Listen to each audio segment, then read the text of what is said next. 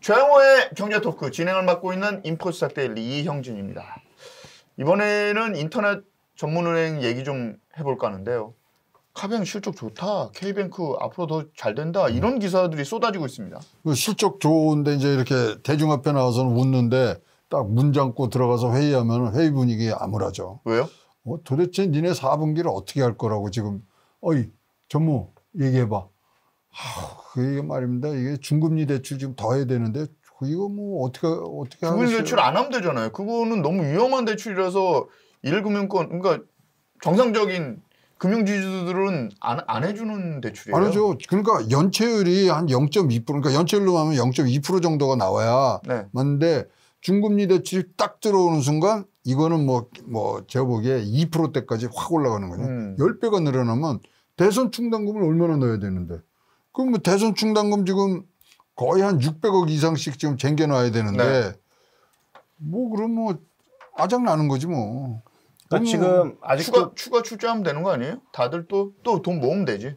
아니 그러니까 뭐 물론 그러면 그러면 되지만 아주 진짜 아주 굉장히 그 최영호의 경제 토크를 경제적인 마인드가 굉장히 크신 것 같아요. 아이 그거 잘못된 것 같아요. 그거 잘못된 것 같아요. 그렇게 해주시면 안 돼요. 아, 안 돼. 칭찬을 하지 마. 예, 아니, 뭐, 아니 문제가 뭐냐면 그럼 외형 커질 수 있죠. 분명히 뭐 외형 커지는데 부실하고 외형이 같이 커지면 어떻게 됩니까? 음. 오히려 더 자기들이 책임질 게 늘어나니까 안 좋게 되는 거죠. 그러니까 외형은 더 키워서 말씀해 주셨던 그런 여러 가지 문제들을 어, 일시적으로 없애게 보일 수 있는데 예를 네. 들어서 2%의 그 손해율이 아 손해율은 아니죠. 만약에 부실 자산이 계속 유지가 되거나 더 확대된다?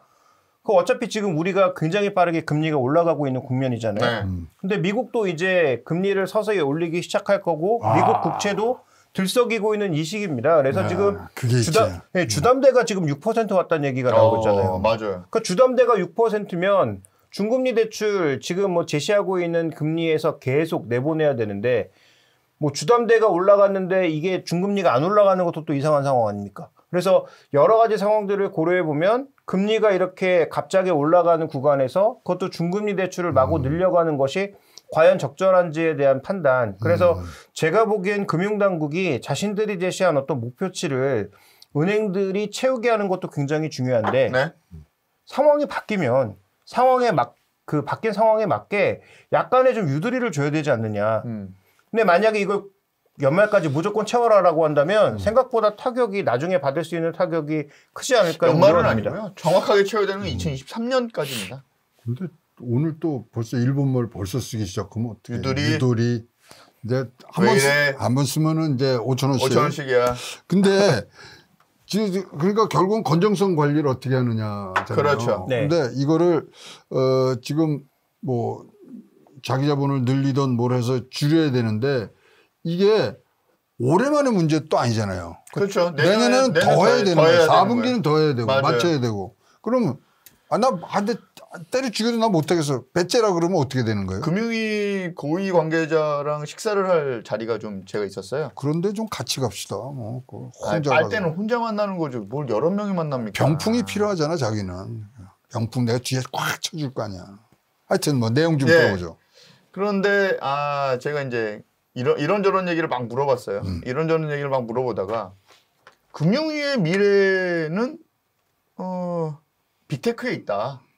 빅테크 금융에 있다. 이런 얘기를 하는 국장이 있었는데 음. 당신은 어떻게 생각하시오? 그랬더니 아 그런 얘기가 있었냐고. 음. 그러면서 하는 말이 지금까지 금융위는 빅테크 IT 금융을 키우기 위해서 굉장히 많은 규제를 음.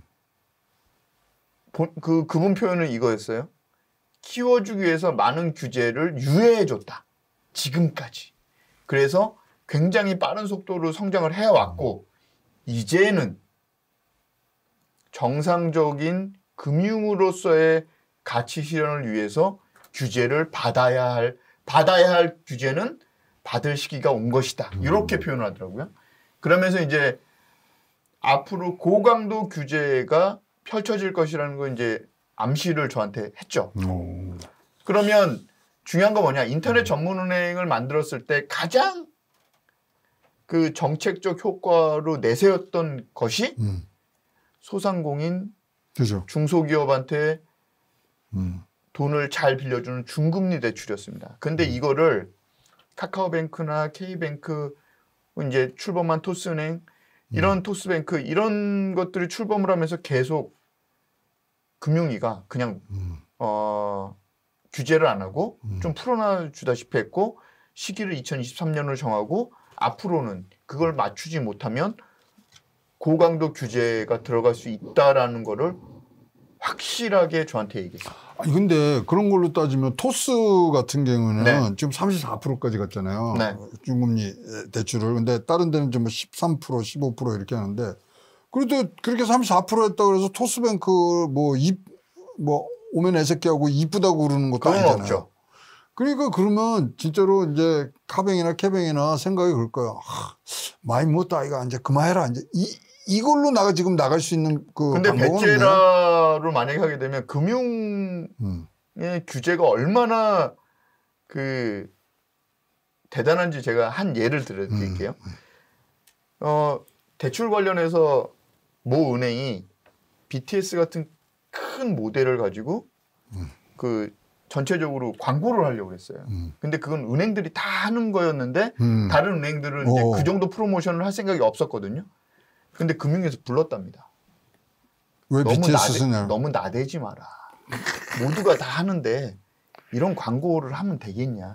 그래가지고 광고 모델 섭외까지 다 끝내고 그걸 만드는 계획까지 하고 초입에 들어가는 어떤 그 프로젝트를 음. 그냥 일거에 그냥 다 없앴다고 하더라고요. 그 정도로 자기네 마음대로 포스터 하나도 못 붙이는 곳이 금융규제 판이라는 거죠. 사실 인터넷 뱅크 허가 조건 중에 하나가 어, 중금리 대출이 네. 뭐그 심사 기준 중에 하나였는데 그러면 인터넷 뱅크에서 얘기하는 것처럼 전체 총량 규제에서 이거 제외해 줘야 되는 거 아니에요? 아니죠. 아니 그러니까 그럼 같이 클 수 있게 네. 목표치는 주되 네. 총량에선 빼주라 이거지. 그렇게 되면 기존의 그 규제를 다 지키고 계속 업을 영위했던 기존에 있던 은행들의 반발을 무마시키기가 너무 어려운 거죠. 토스- 그러면 어, 그럼 역차별이 그렇고. 되는 거거든요. 아 그래도 이거 키울 때 좀 더 키워야 되는 거 아니에요 지금? 근데 이제 이미 음. 금융위는 고승범 위원장은 아예 그냥 뭐 동일행위 동일 규제라는 말을 하면서 그 규제 일변도로 가겠다는 거를 천명을 했기 때문에 음. 더 이상 그거는 바뀌지 않는 규조, 기조로 알고 있고요. 사실 어, 이제 정권 바뀌면 제일 먼저 손댈 때가 이런 뭐 일단 한국은행 뭐 거기는 임기가 끝나니까 네. 뭐 거기는 또 바뀌겠지만은 기재부 바뀔 거고요. 기재비 바뀌고 네. 그러면 뭐 금융위도 6개월짜리라고 보시면 됩니다. 아, 그런가요? 예. 그냥 뭐 사실 요번에 이재명 후보나 윤석열 후보가 사실 어, 정부 조직 개편에 대해서는 굉장히 굳은 의지를 둘이 갖고 있거든요. 그렇죠. 그래서 특히 이제 이재명 어, 후보 같은 경우는 뭐 기재부부터 손본다 그러고 이쪽에 뭐 이쪽에도 여가부 얘기만 나온 것 같지만 사실 이제 조금만 더 들어가면 뭐 산자부부터 노동부 뭐 교육부 다 여기도 손댈라 그러는데 아, 그렇죠.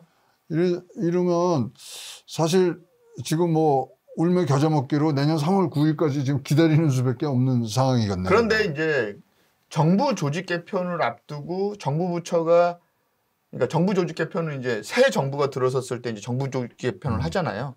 정부 조직 개편을 앞두고 모든 부처들이 규제를 쏟아냅니다. 그게 지금까지 역대 정권이 바뀌기 직전에 공무원들의 행태였어요. 그치. 그래 뭐 예. 일한 것 같고. 그렇죠. 그러면서 거기서 자기 밥그릇을 찾아내고 그리고 법안을 만들어내고 그러면서 굳히기에 들어가는 거거든요. 그리고 인수위원회에서 조금 양보하고. 맞습니다. 아, 그래서 규제가 쏟아질 수밖에 없기 때문에 금융위 입장에서는 규제를 안 할 수가 없는 거예요. 음. 본인들의 그렇구나. 존립의 근거기 때문에 음. 그렇게 할 수밖에 없는 거고요. 그래서 인터넷 전문 은행들의 어, 입지가 굉장히 위축될 수밖에 없어요.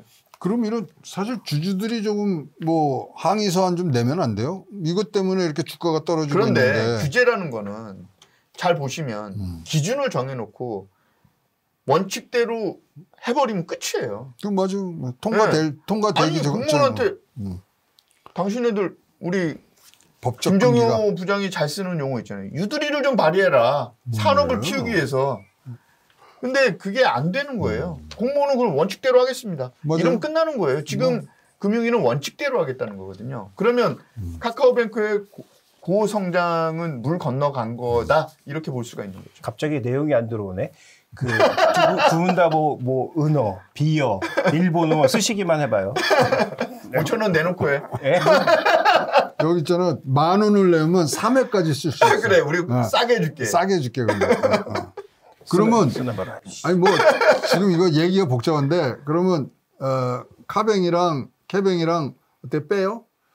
아니, 그러니까 뭐 어차피 K뱅크는 지금 뭐 상장도 상장이 안, 안돼 안 되어 거지. 있지만 그 카카오뱅크가 근데 이제 카, 카뱅은 아 K뱅크는 또 KT랑 연결돼 있어요. 좀 아니. 그 그렇긴 주가가. 하죠. 네. 그렇긴 한데 어쨌든 이제 카카오뱅크의 이제 핵심 포인트 중에 하나는 그런 여러 가지 이제 중금리 대출의 우려에도 불구하고 시장에서 다시 또 하나 불고 있는 바람이 NFT, 네. 그 다음에 뭐 메타버스, 뭐 새로운 어떤 인터넷 플랫폼과 어, 새로운 가상자산에 관련된 여러 가지 요인들이 긍정적으로 작용할 수 있다.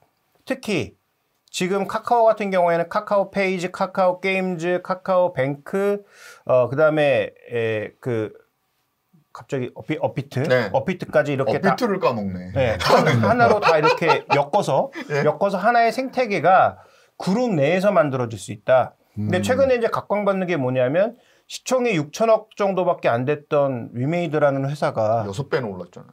10배 올랐죠. 열배 올랐네. 예, 네. 시총이 6조를 돌파했다가 이제 좀 조정 받았으니까 오늘 다시 또 올라가면서 이제 채워졌는데 네. 어쨌든 이런 걸 보면 지금 새로운 콘텐츠 시장에서 소위 NFT 딱지를 붙이고 네. 그 다음에 메타버스라는 신세계 만들어서 그 안에서 새로운 금융이나 어떤 유동성의 흐름을 일으키려는 그런 흐름이 나- 분명히 나타나고 있는데 이게 지금 미국하고 우리나라에서 굉장히 강하게 나타나고 있단 말이죠. 그러니까 이런 것들을 바탕으로 어, 기존에 이제 우리가 흔히 얘기하는 기존의 금융산업에서는 약간 위축될 수 있지만 이쪽 새로운 산업에서 뭔가 활로를 뚫을 수 있지 않을까라는 그런 기대감 자체는 좀 있는 것 같습니다. 근데 NFT나 가상자산 지금 뭐 미국 걸로 보면 코인베이스에서 하잖아요. 그 인터넷 뱅크로 안 가고 사실 뭐 미국에도 19개밖에 안 남았지만 그러면 꼭 우리 카뱅이나 캐뱅을 통해서 NFT 할 이유는 없거든요. 그렇죠. 대형은행 통해서도 할 수 있습니다. 대형 뭐 네. 어디든지 하고 특히 거래소에서 시작하기 시작하면 EFT까지 올라가 있기 때문에 이- 거래소는 가상자산 거래소 얘기하시. 뭐 아니 뭐 어디든지 뭐 네. 지금 뭐 죄송합니다. 예 암호화폐 하는 데는. 다될뭐될 수 있는 부분들인데 자 이렇게 해서 그러면 인터넷 뱅크가 어, 사실 이제 우리 카뱅이나 케뱅이나 지금 뭘 하면 이 가입자 수를 좀 늘리는 것을 갖고 거기 지금 사실 valuation을 많이 준 거단 네. 말이죠. 이거 올라갈까요? 어? 쉽지 지금- 않아요. 예, 지금 이제 1,554만 명에서 1,740만 명으로 좀 어, 카카오뱅크가 지금 늘었어요. 저는 이제 꼭지에 온 거 아닌가 싶은데요. 그러니까 사용자 측면에서 그렇죠. 그래서 그러면 이제 만약에 그 숫자, 그러니까 고객 숫자가 외형 확장이 안 되면 고객당 이익을 ARPU를 늘려야 되는 상황인 네. 거죠. 근데 그 중금리 대출 이렇게 때려 맞고 손잡고 있으면 이게 되겠어요? 안 되는 거죠. 그러니까 만약에 중금리 대출 받은 사람들이 이 전혀 이제 손실 없이 잘 갚으면 ARP가 올라갈 수 있는데 이게 안 되면 뭐 예를 들어 아까 말씀하신 대로 뭐 고정자산 이하 여신이 확 올라가면 그러면 이제 뭐 날샌 거죠. 그리고 NFT 관련해서 얘기를 하셨는데 어, 카카오뱅크가 물론 가상자산에 굉장히 관심이 많은 건 아- 알고 있습니다. 왜냐하면 카카오 그룹의 그라운드 X라는 회사가 네. 지금 가상자산에 굉장히 코어되어 있는 회사고요. 음. 그 정부랑 뭐 하고 있지 않나요? 그리고 네. 그리고 어피트도 카카오 어떻게 보면 반개로 그렇죠, 반개죠. 취해질 정도로 그 밀접하게 관계가 있는데 또 K뱅크도 어피트 효과가 굉장히 있어요. 음. 그런데 지금 지금 금융위 움직임을 다시 한번 보셔야 되면 지금 업비트하고 또 한 군데 두 군데만 지금 허가가 났잖아요. 음. 어, 원화 거래가 음. 그리고 네 개로 재편이 된다고 하는데 어 금융위는 올해까 올해 말까지 어그 가상자산 거래소 허가 관련한 서류 심사를 다 끝낸다는 생각입니다. 그다음 오, 그래요? 네. 음. 그래서 거기서 이제 옥석 가리기를 완전히 끝내고요. 음. 내년 초에 빠르면 내년 초에 뭘 할 거냐면 상장시켜줘요? 아니요. 금융 기업 금융 기관과 똑같이 종합 검사를 들어갈 겁니다. 뭐가 이득이 있지? 그 왜냐하면 세금, 규- 규제는 세금. 규제 지금 거래소가 거래소가 자산 자산으로 너무 복마전이라고 판단을 한다고 하더라고요. 당정이. 근데 뭐 네 개 네 개로 이제 줄어들면 다 정리가 될 텐데. 아 그런데도 지금도 뭐 대주주가 뭐 사기 혐의로 막그 음. 어, 소송을 당하고 있고 막 이러기 때문에 그거에 대한 검사를 들어갈 거예요.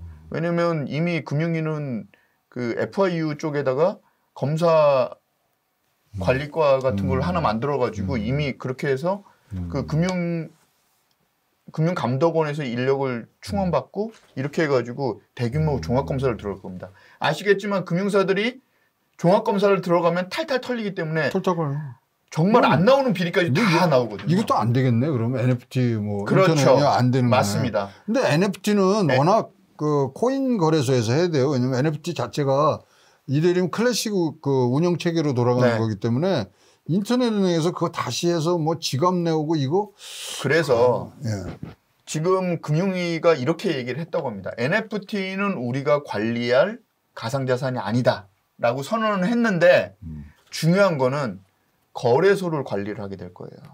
거래소 건전화를 위해서 금융위가 들어오는데 진짜 무서운 게 그 종합검사를 받아가지고 문제가 되면 무슨 일이 있냐면 어 폐업을 시킬 수가 있어요. 그 아니 뭐 근데 폐업까지는 안 된다 그러더라도 영업 정지가 가능해요. 어, 그렇지. 그다음에 그러면 저 실명 계좌 안 터주기 시작하면 뭐 게임 끝이네. 맞습니다. 뭐. 야. 그 정도로 거기도 굉장한 드라이브 규제 드라이브가 들어간다는 거죠. 그러면 방금 전에 말씀하셨던 NFT를 통해서 카카오뱅크가 돌파구를 찾는 거는 어떻게 보면 사실상 어려울 가능성이 있다. 또 한 가지는 카-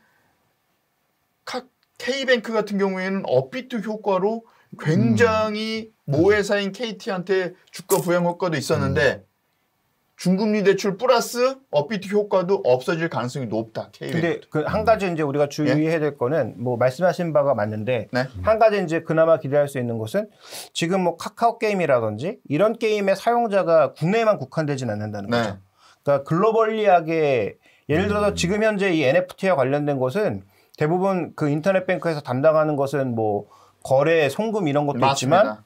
중요한 것은 보관. 네. 그 다음에 그 어, 보관뿐만 아니라 그와 관련된 연, 연계되는 이 그 송금 네. 이런 것들의 수요가 증가하면서 받을 수 있는 수수료 이, 이 부분이잖아요. 네. 그러니까 결국은 그 국내에 국한된 것들은 뭐 국내 규제기관에서 다 총괄할 수 있을 것 네. 같은데 지금 예를 들어서 카카오 페이지 그다음에 카카오 게임즈에서 나오는 이 매출이나 이 상당 부분이 해외 발이기 때문에 네. 이걸 어떻게 관리할 거냐도 이제 우리가 앞으로 좀 지켜봐야 되는 그러니까 부분이죠. 이제 거래소를 잡는 거죠. 그러니까 거래소를 잡으면 예. 연결이 자연스럽게 이게 되게 돼 근데 있어요. 해외 거래소에서 국내 거래소로 송금만 하고 다시 송금을 받는 형태까지 어떻게 거래할 건가는 좀 지켜볼 필요가 있죠. 야, 진짜 우리나라 금융 개혁이 global standard 올라가려면 한참 남았네. 말씀 듣고 있는. 근데 그. 고승범이 어, 이- 금융위원장으로 오면서 이건 예견된 현실입니다. 뭐 그렇죠. 네. 뭐 굉장히 독수리파니까. 근데 한데 그 정권이 바뀌면 금융위원장도 어떻게 바뀌나요? 금융위원 되게 되게 관례가 그랬다는 거예요.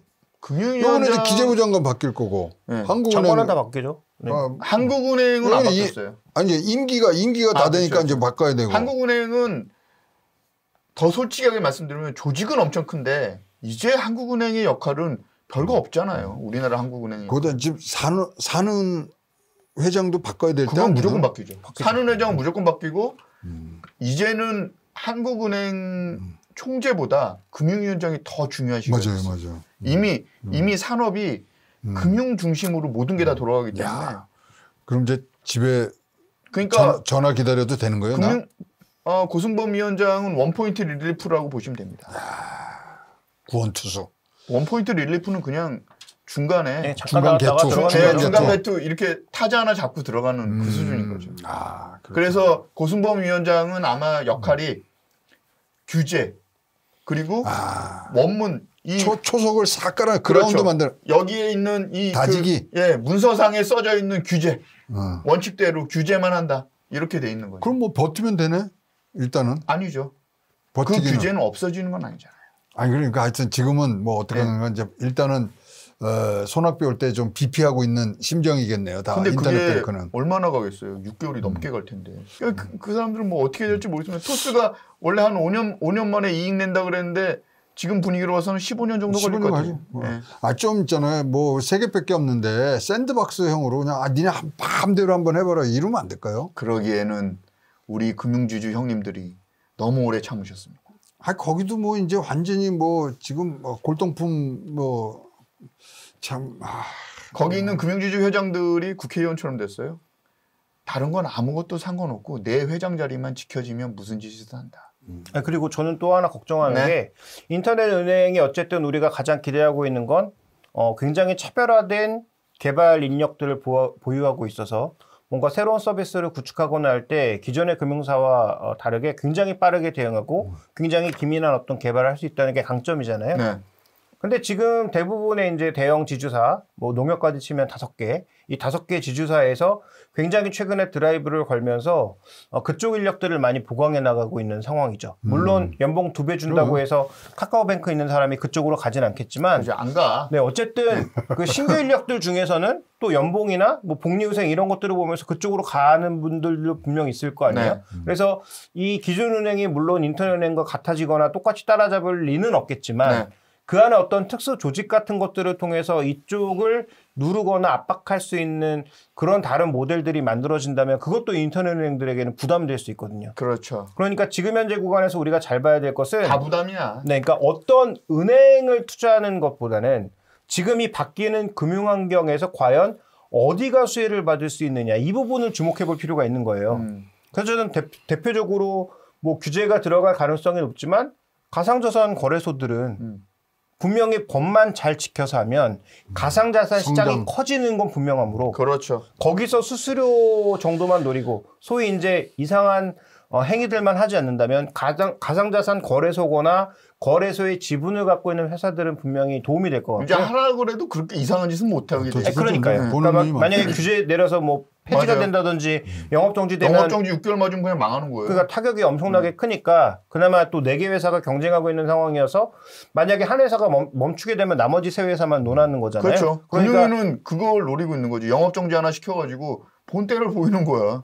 그러니까 시범 케이스 하나 네. 잡아야지. 음. 그러니까 그런 형태의 지분을 갖고 있거나 아니면 아예 자체 거래소의 상장 이런 네. 것들을 우리도 어, 미국의 코인베이스처럼 한번 기다려볼 필요가 있을 것 같고요. 또 하나는 지금 이렇게 되면서 그 소위 이제 가상자산 많아지죠. 그 다음에 소위 이제 가상거래가 전자거래가 점점 증가하고 있는 추세다 보니까 자연스럽게 증가할 수 있는 건 보안 수요. 음. 국내에서도 어, 이런 디지털 보안에 특화되어 있는 회사가 어디인가? 아, 최근에 업력을 넓혀 나가고 있고 소위 상위 아니, 업체들과 거래하고 있는 데가 어디인가? 기업들을 얘기해달라고 왜 그렇게 웅뚱해 얘기하는 아, 저번 때도 이렇게 두리뭉실하게 넘어가서 그래 잘 자기만 그러니까 인텔하고 들어가고 우리는 못하고 기업 기업은요 아톤이라는 기업이 있고요. 네. 지금 아톤이라는 기업이 기존의 PKI 기반 혹은 우리가 그 OTP 다들 갖고 계시잖아요. 네. 네, OTP 기반으로 했던 것을 어 이거를 디지털 공간으로 이동해서 할 수 있는 그런 보안 체계를 이미 대형 금융 4대 지주사와 하고 있고요. 아토는 한 다섯 번 얘기했다. 아, 아, 그러니까 인정, 아이, 인정, 그만해, 이제 어, 인정. 안 해도 되겠다. 마무리하세요. 아니 그래서 아니 저- 좋다고 또 아토 말고 또 아, 그 외에 이제 다른 기업들은 적극적으로 참여를 하고 있는데 음. 지금 이 시장도 한번 계약을 맺고 그다음에 들어가면 다른 업체가 끼어들기가 그렇게 녹록지 않은 시장이기 그러니까 때문에 보안 기업이라 봤자 나는 S1밖에 몰라. 아, 거기 거기가 보안 기업이에요? 음, 난 잘 몰랐어. 최영호의 경제 토크 저희가 준비한 내용은 여기까지입니다.